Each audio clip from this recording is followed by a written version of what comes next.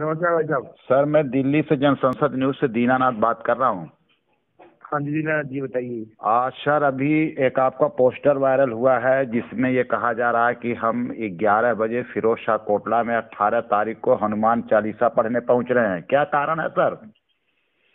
कारण ये है कि जी ये जो है कुछ नमाजी नमाज़ पढ़ रहे थे। जी। लगातार कई वर्षों से फिरोज शाह कोटला किला के अंदर।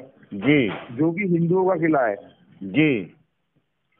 तो हिंदू किलों के अंदर एक जिहादी मानसिकता के तहत अगर ये लोग नमाज़ पढ़ेंगे तो हम हिंदू भी वहाँ पर हनुमान चालीसा हमेशा पढ़ेंगे। जी जी जी। तो ये फिरोज शाह फिरोज शाह कोटला की बात है सर? हाँ जी फिरोज शाह कोटला। वो कौन लोग थे सर? ये अमानतुल्लाह खान है जो दिल्ली के ये गवर्नमेंट है आम आदमी पार्टी इसका एमएलए है विधायक। अच्छा अच्छा जी। तो ये पंद्रह लोगों को बिना एंट्री किए मतलब कि एक टिकट लगती है किले के अंदर घुसने के लिए जिसकी अमाउंट है पच्चीस रूपए। जी। ये बिना टिकट लिए पंद्रह लोगों को अंदर लेके जाता है उनको फ्री में घुसवाता है एंट्री करवाता है और फिर नमाज़ पढ़ के एक वीडियो वायरल करता है कि अगर नमाजियों को नमाज़ पढ़ने से रोका गया जी। तो इसने धमकी दी है वहाँ के लोगों को जो स्टाफ है वहाँ का किले का बाहर जो ऑफ़िस में बैठते हैं।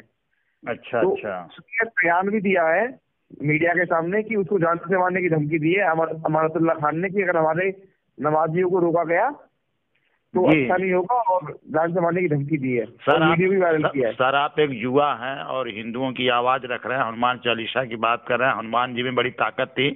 तो क्या आपको कोई कानूनी सहारा नहीं देना चाहिए कि उनके ऊपर कंप्लेन करें?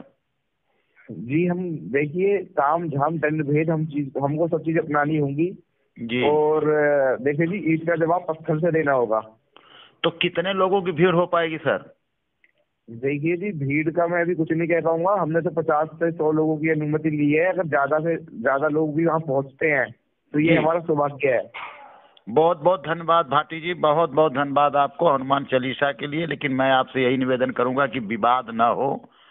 कहीं न कहीं विवाद को रोकना है। इस समय ओमिक्रोन का मामला बढ़ते आ रहा है। दिल्ली के अंदर पाँच स्टेट में चुनाव हो रहा है तो कहीं ना कहीं इस ऐसे चीज़ों पे बहुत ज़्यादा ही निगरानी करने की ज़रूरत है। आग झोंकने की ज़रूरत नहीं है और मैं आपसे यही निवेदन करता रहूँगा। बहुत बहुत धन्यवाद सर। जय श्री